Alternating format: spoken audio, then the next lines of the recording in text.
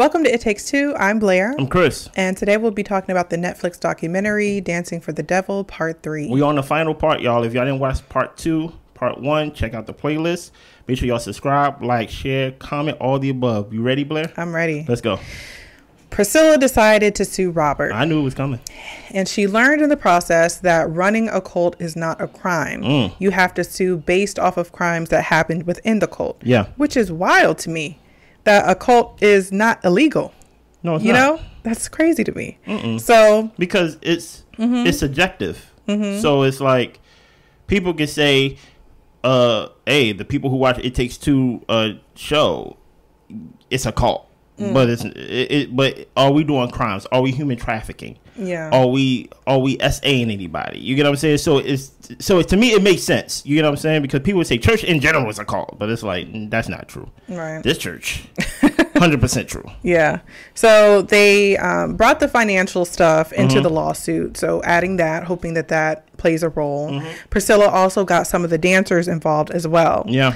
Priscilla and Melanie recruited their friends to serve the papers for Robert for their lawsuit. Okay. Because she said, "Listen, this is my my problem. I'm not gonna get nobody on the outside. I'm gonna get my friends. This is my. I'm gonna handle it my way. Right. Re- respect. So what they do is they do a stakeout Mm-hmm. to see Robert, and the friends and uh, Priscilla and Melanie followed them uh, in his in their car. Mm-hmm. He ended up running a red light. They finally catch up with him, and he is in a restaurant. Mm-hmm. So the friends go up to Robert and serve the papers, as well as the couple of people that were at the table. They got served as well. Yeah. Now, Priscilla couldn't do the serving because she is the one doing the suing and she's involved in the suit. So she had to get her friends to do it. Mm-hmm. Yeah. So after uh, the serving, Priscilla started feeling bad because she devoted her life to protecting him. And this is where we talked about kind of like how her brain is like fractured Yeah, yeah. because she still has this loyalty within her to him, Mm-hmm. but she knows that he's done all these terrible things to her and pretty much like stole 20 years from her life. Yeah. Well, one other person previously attempted to sue him and lost. Mm-hmm. The judge said that he couldn't touch it because of the First Amendment and religious rights. Yeah. Uh, they would need a criminal case against him to actually get him behind bars. The one that Priscilla is pursuing is not a criminal case. Mm-hmm. So they need people who were SA to come out to the police station and report it. Um, the Wilking family are the ones who are pursuing the criminal case. Now, here's the thing about it. Like, let's say Priscilla was not. Let's say it's a civil case, right? Mm-hmm. But you want him behind bars, Mm-hmm. right? Let's say you are Priscilla. I don't know how I feel about orchestrating getting people to tell their stories to get him behind bars. Like I don't want to be the the motivating factor. Mm. Dude, you kind of get what I'm saying? Mm-hmm. Like if if if if I want him behind bars, I tell my story. Yeah. Right? I don't know how I feel about hey girl, did that happen to you? Mm-hmm. Are you willing to share? Like like even though it serves the greater good, that was some that was a crime that was done against you and you have the freedom in my opinion to share it or to hold it to deal with it however you want to deal with it. Even though overall it may serve the greater purpose of getting him behind bars to where he can't do it to nobody else. So i'm kind of like ooh like i'm in i'm in the middle of how i feel about like you know like yeah it's a civil yes it's a civil case which i'm happy for like you know he love his money you know what i mean but i don't know how i feel about like getting other people to share their story like they would have to come When out and tell me criminal they. Mm-hmm. would have to t- come and tell me that they want to do it i'm not saying priscilla did that to basically like gather a team to get people to share their stories but i'm just showing you like how i feel about the whole thing when i was watching it No, yeah, because it's two different cases Yeah, going on. mhm. Yeah, Priscilla's case and then the Wilking Yes, case. yes. Yeah. And so Miranda's mom is the one who was calling around trying to get people to report their um, essays Yes. situations. Thank you for the correction. The the mom. I don't know how I feel Uh-huh. about that. Yeah. Even though it serves the greater good, because in some, oh, I'm I'm so I might I might I might call myself a hypocrite. It serves the greater good, and as humans, I believe there is a call to the greater good. You know what I mean? In the hmm. sense of protecting our society, making sure it doesn't happen to anybody else. But certain things can be such a violation that at the end of the day, I'm questioning: Do you just want your daughter back? Like, like, like, I understand he done bad, but it's like, do you just want your daughter back? And basically, I have to basically expose myself, relive this trauma, and at the end of the day, you get your daughter back, and things is all right in your world, but things will never really be hundred percent right in my world. Am I making sense? I get what you're saying, Yeah. um, but I am on the side of the mom did the right thing Okay. because I think that there's nothing wrong with calling people and trying to get their stories and trying to get a criminal convicted Okay. because he is a criminal. Yeah, that's right.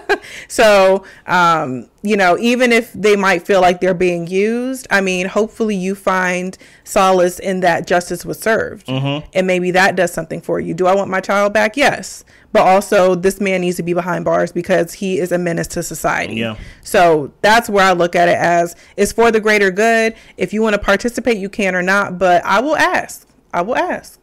I don't think there's anything wrong with asking to see if you can participate in this to get this criminal behind bars. Yeah.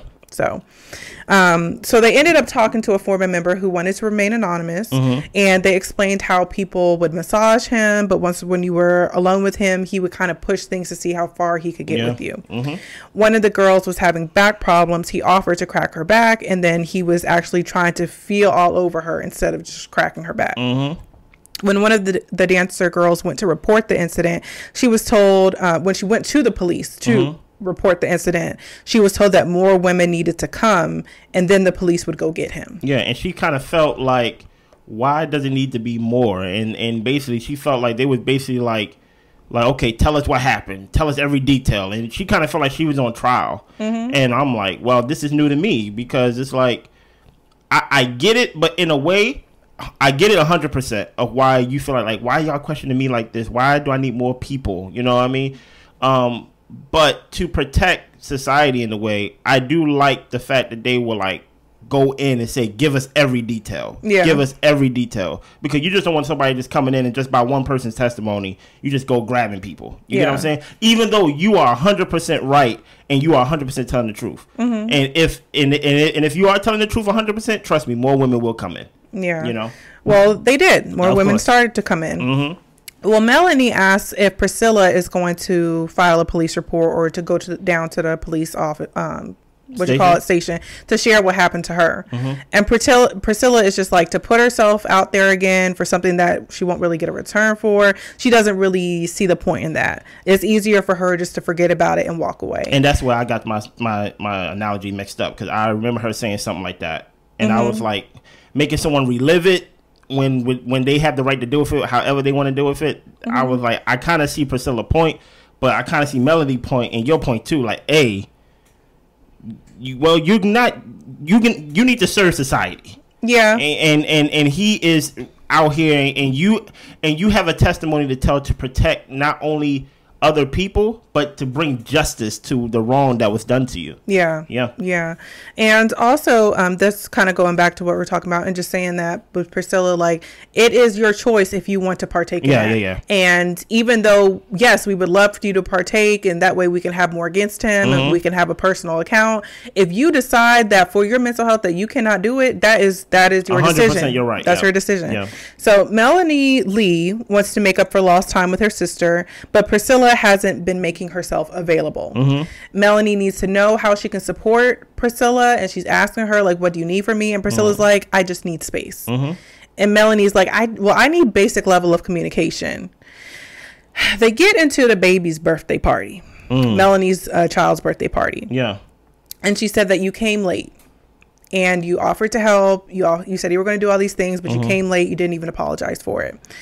And priscilla said you know people expect me to be normal. You mm. want me to to act correctly and and she's just like who cares? It's a party. It's a kid's party. Like why is that a big deal? Mm-hmm. And melody is like you are her aunt.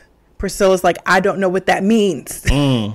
and she goes on to say, I'm a dysfunctional sister. I have internal issues that are not about you. Mm-hmm. It's common sense to you, but I don't know what it means to care about a child. Mm-hmm. She says every day she wants to unalive herself, and you want me to be on time for a freaking party. Mm-hmm. Like, what are we even talking about right now? Priscilla actually does wish that she could have a baby, but there's so many what ifs in her life. I mean, that's 20 years robbed robbed of her life. Mm-hmm.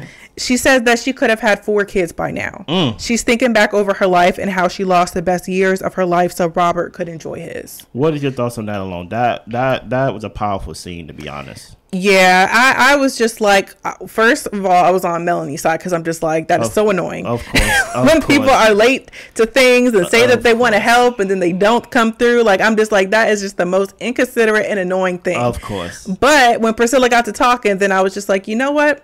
I'm wrong. Yes. Thank you. I am wrong. Mm-hmm. Because Priscilla, you just showed up today and you're doing the best you can. Mm-hmm. Just because Melanie got out and she was able to start a family and she's kind of living a normal life, Priscilla did not have the same situation. And mm. Priscilla is not over what happened to her. Priscilla spent more time in the cold and had more things done to her. Mm-hmm. So I was just like, yeah, we need to give Priscilla grace. Please, please. We need to give Priscilla Th- grace. Thank you for giving her grace. Yes. because that right there really put into terms of why I do not hold people. I don't want to use the word accountable, but everybody live they everybody's in their own world, man. Mm. And I don't really like if you're late to something or if you let me down or something. I'm who am I? I always look at it as self righteous to be like, how dare you be late to my kid's party? How da- like you will never hear me say anything like that. Just to, f- because at the end of the day, I can put myself in position to get yelled at the same way as Melody did. yeah. You know what I mean? Like, like it just because Priscilla basically just said like, "F that baby," Mm-hmm. and that's facts. Like, "F that baby." like, I have been SA'd. Mm-hmm. I wish I had kids. I am dysfunctional. You want to talk about how I want to basically like how I'm late to a party when I'm trying when I'm struggling to live every day? Like, like, like, what are you doing? Mm-hmm. Like, what? Like, obviously, like we're not in the same reality right now. Correct. You get what I'm saying? And I get both sides, but this is what happens when people are fighting like silent battles. You really don't know what they're going through, and it and it and it explodes like this. And and like I- I get Priscilla's point. Yeah. So Priscilla took some time to try to reconnect with her dad in South Korea. Mm-hmm. She ends up not necessarily connecting with him. I feel like she just wanted to berate him, to be honest. Okay. She tells her dad that it was his fault that she ended up in the church, and she hopes that he feels ashamed. The dad is shocked to hear that she was in a cult for 23 years. Mm-hmm. Um, did you have anything to kind of touch on regarding that scene with her and her dad? Mm-mm. Um, I guess my only thing was that Priscilla is really hurt. And I think she's trying to hold everyone accountable for their role and how she ended up in the situation she ended up in. Mm-hmm. And I really do think that because she even talked to her dad about like I was thinking am I stupid? Like am I just this vulnerable dumb person to Yeah. where somebody can just come in and just wreck my life? Like and yeah, a lot of it did stem from her parents not being there for her and her dad abandoning her. Exactly. But I'm just like I I don't know if Priscilla's in therapy, but I'm just like Priscilla, you got to go to therapy, girl. It's like more. It's more than therapy though. yeah, but you need to like work through some of this stuff out. And not to say that she shouldn't have held her dad accountable. I absolutely feel like, yes, he needed to hear that. Like, he needed to hear that this is what my life has been, and you were not there. You were no help. And you probably put me in the mind state to make me vulnerable to people like this. Facts. And it's just like, yeah, dad, take ownership of something. okay. Um, so that that to me was like an interesting, powerful scene. Yeah. Well, she ended up going to report the SA to the police department. Strong. Months went by, Robert was not arrested. Mm-hmm. Miranda ended up texting her mom saying she'll come home for Christmas. Miranda came, recorded everything, had everybody in their matching pajamas, mm-hmm. all for social media, and probably to send to Robert as well to be like, hey, I'm doing what you said I needed to do. And also, you gotta think, like, she did, she she sent to potentially get them to drop the lawsuit, mm-hmm. to basically drop the trial. You get what I'm saying? To basically like butter butter him up. You get what I'm saying? To be, I mean, to butter uh, their relationship up and basically be like, hey, look, you got me now. Do you still want to pursue this, like, you know, this case? Yeah. you got what you wanted, mm-hmm. right? Matching pajamas. Hey sis, you want to dance? Like it's mm-hmm. just it's, it's it's all a game. It's all a game. So uh, we also touch on the dancers and how a lot of them lost their passion when they left the 7M Mm-hmm. situation. But there were those who picked it back up and continued in their passions. One of them, uh, Concrete, he went on to dance with Beyonce on the Renaissance tour. Mm-hmm. One of the girls, she is a uh, performance arts teacher Mm-hmm. uh, and for dance. And so some people have reignited their passions in different ways, which is nice that that didn't allow Robert to um, snuff out th- what gives them joy in life. Yeah, but So. but they but this is different. This is like twenty years compared to like just a moment in their lives. You get what I'm saying? Yeah, there's a huge, Yeah, huge, huge, difference huge between difference, yeah. Priscilla and a lot of them. They basically, Mm-hmm. even though they feel like they was part of the cult, they really got out. yeah, they did. They really made out pretty well compared because you actually see the contrast of what happens when you're actually deep in it, like Priscilla, Mm-hmm. um, and not even to rely on that, um, not even to rely on the assaults, but you see what happens when it comes to Priscilla compared to someone who may have been there just during the NDA process. Mm-hmm. It's like wow, it's really you kind of see like what could have been, Yeah. or how or how how bad it could have been. You know, how know, many so- years of your life you could have lost. Like Yeah. that's terrifying. Mhm. So, and the Lee sisters, they are working on building their relationship and building up trust with each other. Is that it? That's everything. Do you trust Miranda? No, No, not at all. no. I, I I do think that she's being used by Robert. Mm-hmm. And the thing is like it's not even I'm just listening to the the um rhetoric or the stories that the family is saying. Mm-hmm. They're playing Robert preaching within Oh, yeah, each yeah, yeah. part. And we're hearing him say some off the wall stuff Mm-hmm. during each part. So for her to go online and say that she's okay and nothing's wrong, I'm just like, I, I hear Robert talking crazy. Mm-hmm. I'm sorry. I don't know what to tell you. So Yeah, Mm-hmm. I don't think her sister trusts her. no. And and they shouldn't. They really like her, shouldn't. her sister is, is engaged or like married already, and or like she's going to get married because I think she was talking about how she always dreamed of her sister being her maid of honor and things like that. But I'm like, now that you actually have what you want, you have some type of connection back with your sister. You realize this not even my sister. Yeah. Like it, it, it don't feel the same. Like it's not fun anymore. I'm gonna invest in now my fiance, and I gotta take care of my parents now and stuff. It's just like now I don't even know if I even want it anymore. It's kind of like, can you even say you have a sister? It's kind of like mourning that relationship. Mhm. Yeah. So anything else? That's all I got. Listen here, we are actually gonna react to um Blair don't know this, but Miranda actually made a post, and I just so happened to go on her story and watch this video that she made and this post. We're gonna react to that. And today, in current time, her and her family not talking to each other again. Oh, This is what she does. Yeah. You get what I'm saying? So join us for that. Anything else? that's it. Y'all be good. Bye.